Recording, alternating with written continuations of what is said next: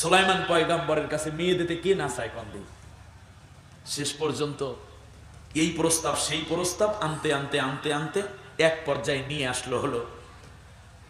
যাই আনে, বলে যে একটু ভালো দেখো, ভালো, এরকম অনেক সময় ছেলেরা বলে না, আরেকটু ভালো মেয়ে দেখো, ভালো মেয়ে দেখো। এক পর্যায়ে এই কথা পুইসা গেছে, একেবারে সেই স্বরের জেলে পল্লী, বেদে পল্লীতে। বিকেলবেলা মা মেয়ের চুলের মধ্যে এভাবে তেল দিয়ে বেনি করে দিচ্ছে। মা বলে এটা করে না? করে। হঠাৎ করে। এখন করে না এখন ফেসবুক নিয়ে বইরে থাকে টেলিভিশন দেয়।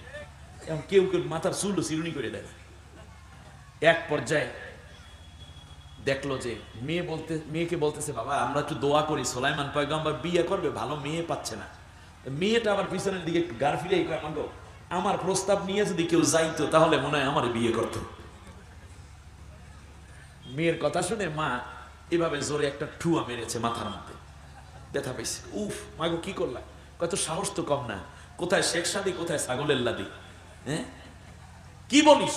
সুলাইমান পয়গম্বর তোরে বিয়ে করবে। এই প্রস্তাব কথা শোনাও তো, বলাও তো ঠিক না। কয়, মাগো, আল্লাহ যদি চায়, তাহলে এটা সহজ। সুবহান আল্লাহ মেয়ের মনে নিয়ে রয়ে গেল। এই দিকে কথাবার্তা চলতে চলতে চলতে চলতে, এই কথা ঢুকে পড়ছে মন্ত্রী পাড়ায় মন্ত্রীর বউরা এটা নিয়ে একটু রস, হাসি টস করছে। এক পর্যায়ে মন্ত্রীরা সেক্রেটারিয়েটে বৈশা বলতেছে, বাদশাহ, আপনি একটা বিয়ে করেন তাড়াতাড়ি, আর নয় আমাদেরকে আর একটা করে করাই দেন ব্যাপার কি?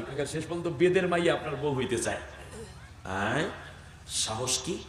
এ কথা বলে তিনি একটু সিংহাসনটা নেড়ে চেড়ে বসলেন। কে সেই বেদের মেয়ে?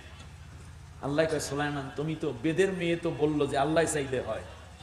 তুমি তো একটু রাগ হইয়া গেলা, তাহলে আমি একটু দেখি চাবিটা ঘুরাইয়া কি হয়। সুলাইমান পয়গাম্বরের কে আল্লাহ দিয়েছেন মজেজ একটা আংটি, জানেন কিনা তামাম দুনিয়া এবং জিন সব কন্ট্রোল করতেন তিনি এটা দিয়ে। আদত ছিল যখন পায়খানা প্রস্রাবে যাবেন, তখন এইটা একজন বিশ্বস্ত চাকরের কাছে রেখে যাইতেন। অজু করে বাথরুম সেরে এসে আবার অজু করে এটা হাতে দিতেন। হঠাৎ করে পেটের মধ্যে মোসলতেছে টয়লেটের ব্যাগ হয়েছে বাথরুমে যাবেন সাবিওয়ালার আংটিওয়ালার কাছে আংটি রাইখা তিনি বাথরুমে গেছেন। আজকে পেটটাও একটু ব্যথা ব্যথা করে, একটু সময় লাগছে। এই ফাঁকে বদ জিন সুলাইমানের সুরত এসে কই দেও আংটি দেও। আংটি দিয়ে আংটি নিয়ে বদ জিন সিংহাসনের মধ্যে বৈশা বলতেছে, শোনো, দেশের মধ্যে দুই নম্বর সোলাইমান আইসে গেছে। দেখতে আমার মতো। আসলে আমি এক নম্বর, হইল দুই নম্বর। আসার আগেই সাইজ কইরে দিও, নালে কিন্তু রাষ্ট্র দখল করে নিয়ে যাইবে। দুই নম্বরই কইরে ক্ষমতায় বৈশাই এক নম্বরের ফিডাইবে ঠিক কিছুক্ষণ পর আসছেন, অজু করে তো মাথা ঠান্ডা। আইসে কয় আংটি দেখে। ও, তাহলে সেই দুই নম্বর। যান, সামনে গরম গরম খবর আছে। কি? একটু আগে সুলাইমান আংটি নিয়ে যায়নি হায় হায়, দেশে দৌড়। দৌড় দিয়ে চলে গেছে সিংহাসনের কাছে, কিন্তু এর আগেই তো যৌথ বাহিনী রেডি পিটাইয়া হাড্ডি গুড্ডি গুড়া কইরা, সব এলোমেলো কইরা দিয়া ব্যানের মধ্যে সরাইয়া টানতে টানতে যেই সরে জেলেরা মাছ শুকায়, মাছ ধরে, মাছ উঠায়, সেই সরের মধ্যে ফালাই দিয়েছে দুপুর বেলা জেলেরা ফিরতেছে। হঠাৎ করে এক জেলের নজরে পড়ল একেবারে নিচে নেমে এক খণ্ড মেঘ কাকে যেন ছায়া দিচ্ছে। এই জেলের সামনে আগাইয়া গেছে।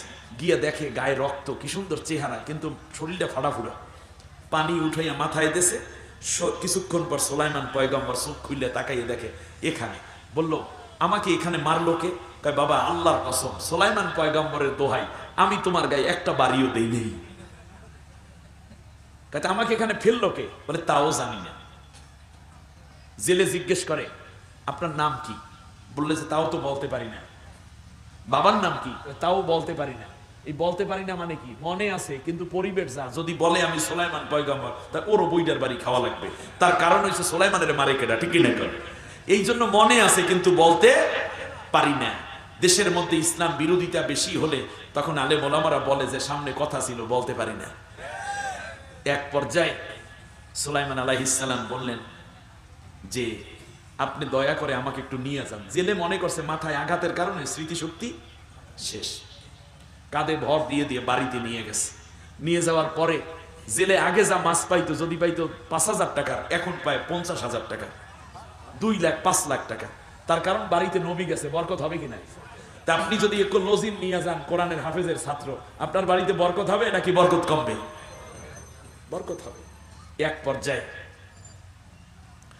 কয়েকদিন যাওয়ার পরেই জেলে চিন্তা করলে, আরও পাঁচ ছয়টা জাল বাড়াই। জাল বাড়াইলে লোক লাগবে না? কর্মচারী লাগবে। এর মধ্যে সোলাইমান পয়গম্বর একটু সুস্থ হয়েছে বলল যে, বাবা, আমার তো একটা কাজের লোক দরকার, তুমিও সুস্থ হয়েছো চাইলে আমার ঘরেই কাজ করতে পারো, বাহির থেকে আনব কি আর? ঠিক আছে, কাজের লোক। কত মাসে কত? মাসে এক হাজার একশো দেড়হাম দেবো আনে, তুমি থাকো খাওয়া দাওয়া করে যাইতেছে, দিনকাল যাইতেছে, কিন্তু সোলাইমান পয়গাম্বর আস্তে আস্তে কইরা ওই জেলেদের মধ্যে দিনের দাওয়াত দেয়, আর মানুষেরা তার খুব ভক্ত হয়ে গেছে। নবী, তার আখলাক চরিত্র, চেহারা।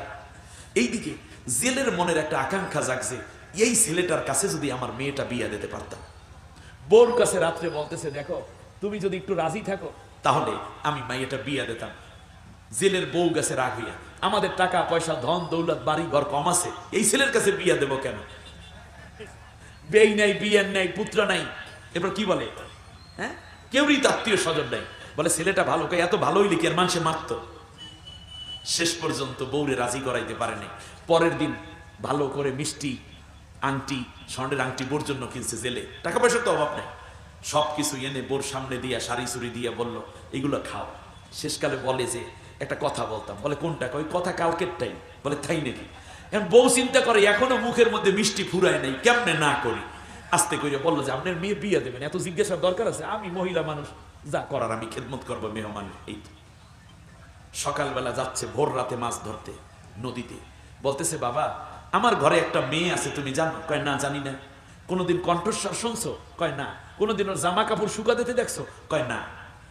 জেলে বলতেছে, বাবা, আমরা গরিব হতে পারি, কিন্তু সুলাইমান পয়গম্বরের সুন্নত মেনে চলি, আল্লাহর বিধান মানি। আমার মেয়েটা বেপর্দা হয় না, আমার মেয়েটা নামাজ কাজা করে না। বলে মেয়ের কথা বলেন কেন, চাচা? মহাজনকে বল বলল যে, আমার মন চায় আমার মেয়েটা তোমার কাছে বিয়ে দিতে, তুমি যদি রাজি হও।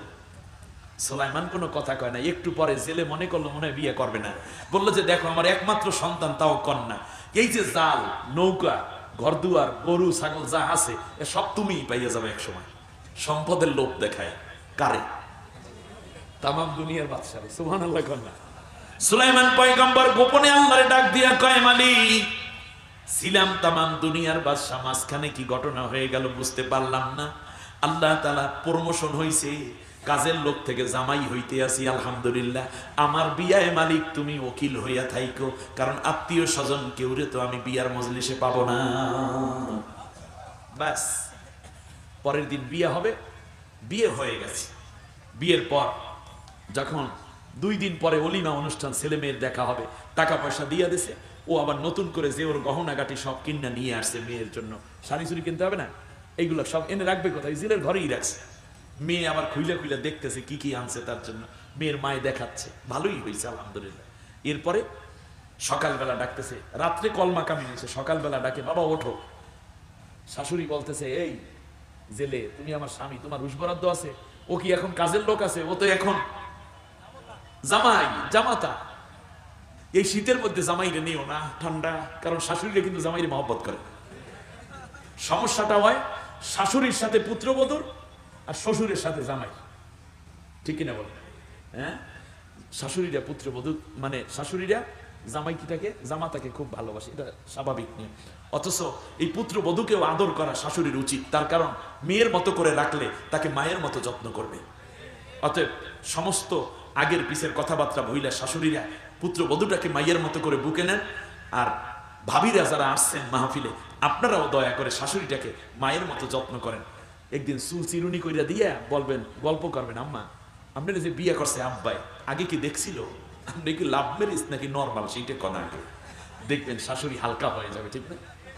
হ্যাঁ, বলে বাবা সেই লাভ ম্যারেজ কি বুঝি না? আমার দেখতে গেছে আমি হেরে দেখি উনি দেখছে কিনা জানি না আমি তো মাথা নিচু কইরা রাখছে। আগের দিনের মহিলার এইরকমই, ঠিক না যাই হোক, এক পর্যায়ে বিয়ে হলো, ওই দিন আর যায় নাই। জেলের জাল ধরতে যায় নাই সোলাইমান পয়গম্বর, জালের মধ্যে কোনো মাছ বাজে নাই, একটা মাছও বাজে নাই। জাল্লার মন খারাপ। কারণটা কি? কারণ হইল, ওই রাষ্ট্র এক বছরের মধ্যে পুরো তছনছ হয়ে গেছে। কারণ মানুষের রাষ্ট্র চালায় অবৈধ শাসক জিনে। কথা কেন আংটি নেছে চিন্তাই করিয়া অবৈধ, আবার হইল কি? জিন। তা মানুষ মাটির তৈরি, চালায় জিনে। জনগণ কয়, তেলের দাম বাড়লো কেন? মিছিল করছে, সবগুলোর ধরে কয় শরীরের তেল বাইর করিয়া দেয় চাউলের দাম বাড়লো কেন? জালে ঢুকাও। গরম পানি খাওয়াইয়া দাও, বাস দেখ পানি আর চাউল খাওয়ার কথা কইবে না। মন্ত্রীরা কয়, সরকার এত নিষ্ঠুর হইল কেন? দেখি তো এইটা আসলে সোলাইমান কিনা? ওই সরকারের মধ্যে, মন্ত্রীদের মধ্যে একজনের নাম ছিল আসিফ বিন বরখিয়া। সে ছিল জিনের গোষ্ঠী থেকে জ্ঞানী জিন। কোরআনের মধ্যে ছিল কাহাফে আল্লাহ বলেছেন। তো সে বলল যে, সোলাইমান পয়গাম্বরের কোনো কাজের বিরোধিতা করি নাই, আজকে বিরোধিতা করব। চেহারার দিকে তাকাইল। তাকাইয়া সুলাইমানকে একটা কথা জিজ্ঞেস করবে, আপনি কি জনগণের জন্য কেন এত কঠোর হইলেন? এই কথা জিজ্ঞেস করার আগেই যখন চেহারার দিকে তাকায়, তাকাইয়া দেখে, এইটা তো মানুষ না, এটা তো জিন। জিনে? জিন চেনে। এখনও পয়সা রইছো, ধরো না, এটা তো মানুষই না জিন। জিন কয়, আমার কাম শেষ, দেশে দৌড়। জিন তো বাতাসের সাথে মিশে যাচ্ছে। শালি কইছে, ধর ধর কইতে দেরি, অবৈধর পালাইতে দেরি হয়নি। এক পর্যায়ে দেশে উড়া আসিফ বিন বরখিও পিছনে পিছনে জিন তো ধরছে। ওই সমুদ্রের মধ্যে দিয়া যখন যাচ্ছে, উপর দিয়া, আংটিটারে তাড়াতাড়ি ফালাইয়া দিছে। তার কারণে এই আংটি থাকা মানে ওর বিপদ এখন। ক্ষমতা তাড়াতাড়ি সারলো যখন সাগরের মধ্যে সাইরা দিছে, একটা মাছ আইসা ওই আংটিটারে খপ করে গিল্লা ফেলাইছে। আল্লাহর কুদরত, ওই আংটিওয়ালা মাছের পিছনে সমুদ্রের সব মাছ পাগলের মতো দৌড়ায় দৌড়ায়। এই জন্য সমুদ্রের কোথাও মাছ নাই, ওই মাছের জাগ যেই দিকে সব মাছ যায় সেই দিকে এক পর্যায়ে পরের দিন জেলে বলল যে, দেখো, জামাইয়ের মাছ ধরাবো না, শুধুমাত্র বৈশা থাকবে তাইলেই হবে জাল ধরছে। প্রথমে আইসি জালে বাজছে ওই মাছটা, আর অন্য মাছ তো শুধু ঢুকতেছে জালে আনতে তাই না মনে হয় জাল নিয়ে যায়, তাড়াতাড়ি টেনে সরে জাল উঠাইছে, দশ বিশ কোটি টাকার মাছ একদিন পাইয়ে গেছে। অন্য জেলেরাও মাছ পাইছে, প্রচুর। এরপরে স্তূপ দেশে বাড়ির দরজায় উঠানে বিশাল মাছের স্তূপ। কয়েক কোটি টাকা মাছ বিক্রি করছে। একদিন পরেই মেয়ের বিয়া, ভালো কিছু মাছ রাখছে। একটা মাছ আজকে এই দুপুরবেলা খাওয়ার জন্য ঘরে পাঠাইয়া দিছে। আপনারা বুদ্ধিমানি করিয়া কন্ত দেখি কোন মাছটা হইতে পারে। বুদ্ধি বুদ্ধি মেয়ের ডাক দিয়ে কয়, মাগো, মাইয়ার মায়ে কয়, জাইনের বউ, বলতেছে, মাগো, কোনো কথা নাই, জামাই খুব ভালো। এই যদি জানতাম বিয়া দেওয়ার পর এইরকম হয়, তাহলে প্রথম দুই দিনের মধ্যেই বিয়া দিয়ে দিতাম। একটু আগে কয় বিয়া দেব না, ছেলে অত ভালো না, আর এখন কয় আগে দিতাম। এই মহিলা, এক পর্যায়ে সুন্দর কইরা মাছটা কাটছে মেয়েটা মেয়েটা কান্দে। আগের দিনে মেয়েরা কানতো বিয়ের কথা শুনলে, ঠিক না? আর এখন মাইয়েরা বিয়ে আগে বৈশা বাবারে কয় আনুষ্ঠানিকতা শেষ করেন, কারণ বাচ্চা টাচ্চা নিতে হইবে আমাকে। বিয়ে করছ কবে? ও কাম সারছি সেই কবে? বেহায়া, ঠিক কিনা? এক পর্যায়ে মাছ কাইটা যখন পেড়ির মধ্যে পোষ দিছে, দা দিয়া দেখল একটা চপ টস টস করে, চট করে একটা আংটি পড়ছে আর গোটা রুম আলোকিত হয়ে গেছে। আল্লাহ আকবার বলে, মহিলা তাড়াতাড়ি আংটিটারে উঠাইয়া মেয়ে গরম পানি দিয়ে ধুইয়া আসলের মধ্যে জড়াইয়া রাইখা আল্লাহর কাছে চোখের পানি ছেড়ে শুক্রিয়া আদায় করে রব্বুল আলামিন। আমার স্বামী আমার জন্য কত কিছু কিনে নিয়ে আসছে, আমি তো কিছুই দিতে পারলাম না। মনে হয় মাছের পেটের মধ্যে ভইরা তুমি আংটি পাঠাইছো আমার কাছে, বাসর রাতে যেন আমার স্বামীকে এইটা গিফট করি।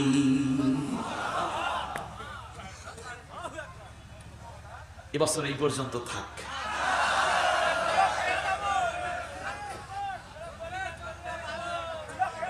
পাবলিক একটা বাজে।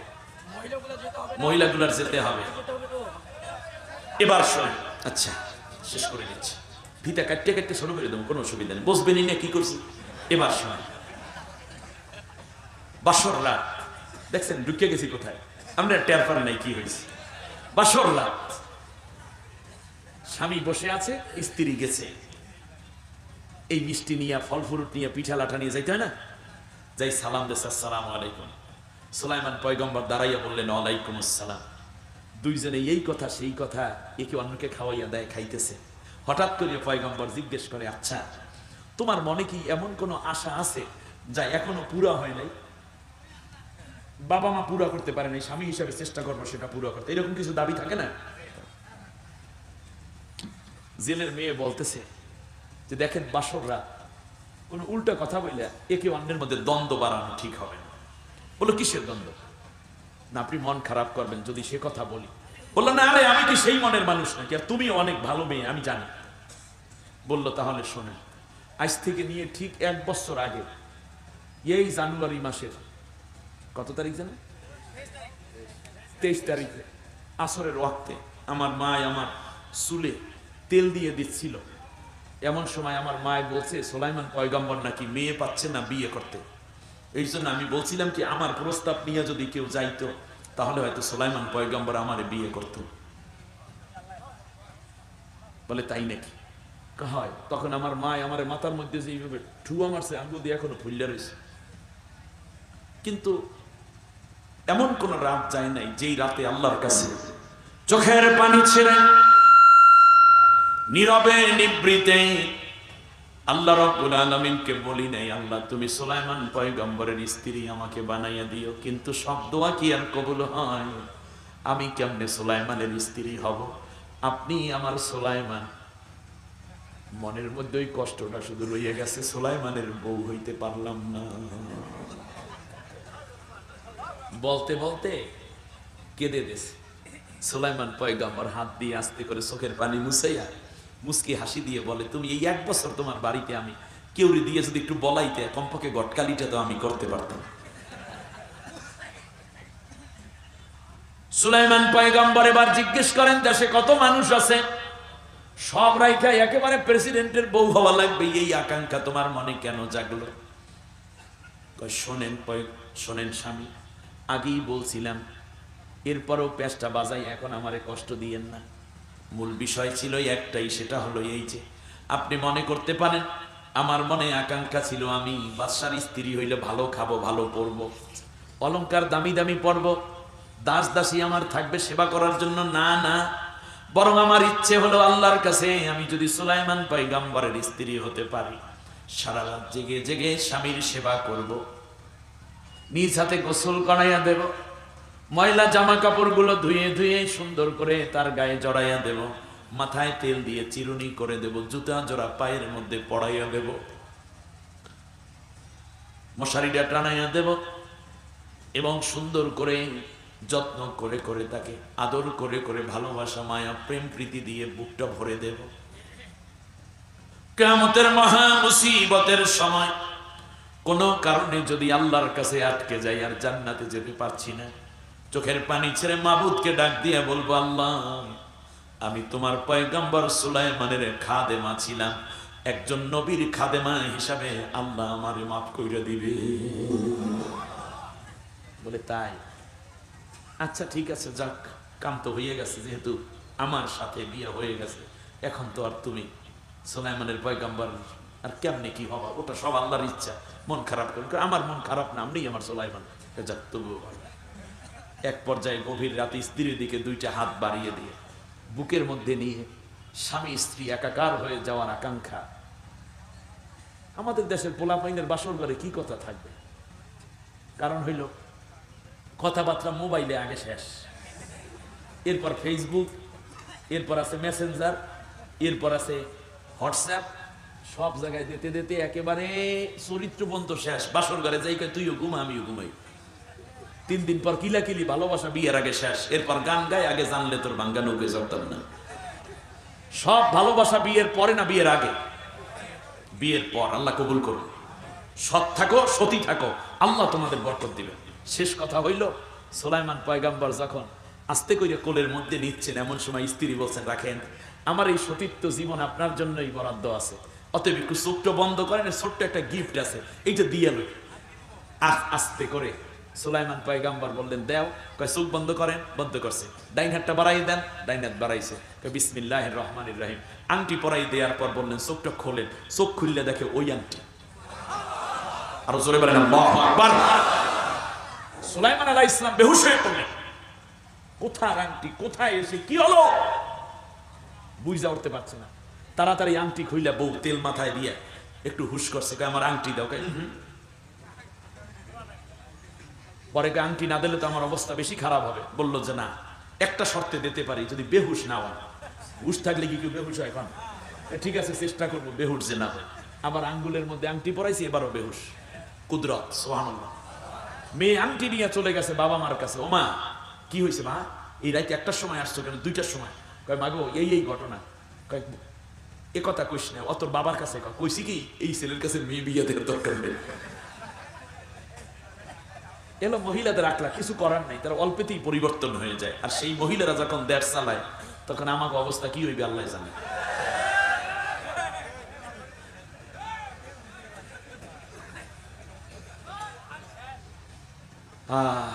তো ঠান্ডায়, ওয়াজ ভালো লাগে না। শেষ করতেছি।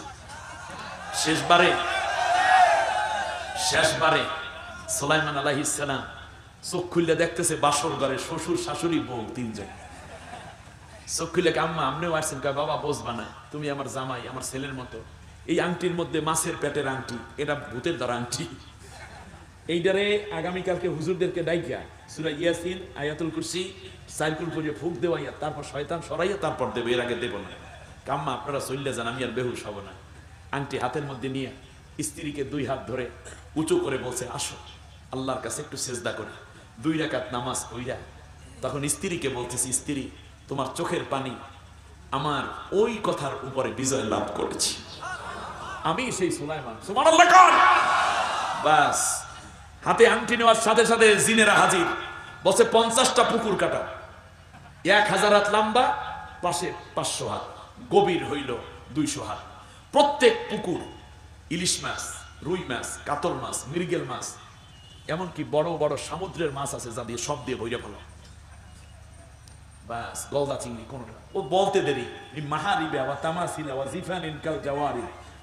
বলছেন জিন দিয়ে এইভাবে সে কাজ করাইতো বিল্ডিং বানাও কইরা এরপর বাগান বানাও পঞ্চাশটা একটা আঙ্গুরের বাগান একটা কমলার বাগান আর একটা লেসুর বাগান আর একটা লেবুর বাগান আর একটা জাম্বুরার বাগান আর একটা আপেলের বাগান আর একটা বেদানার বাগান বাগান আর বাগান পঞ্চাশটা ফুলের পঞ্চাশটা বাগান বানাও জিনেরা বাকি রাত্রে কাজ কইরা ক্লিয়ার সকালবেলা জেলের বউ উঠে দেখে হায় হায় একই কয়, স্বপ্নে দেখলাম কিনা একটু নিজে আবার নিজের প্যাডের মধ্যে সিমটি দিস কয়, না, ব্যথা হতো পাই।